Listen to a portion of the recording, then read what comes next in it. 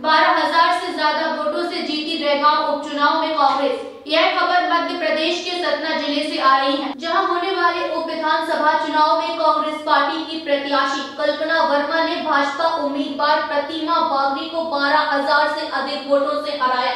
यह सीट पचास साल बाद फिर उसी घर वापस लौटी। हम आपको बता दें कि कल्पना वर्मा के बाबा ससुर स्वर्गीय श्री बाला प्रसाद उन्नीस से कांग्रेस टिकट पर विधायक चुने गए थे।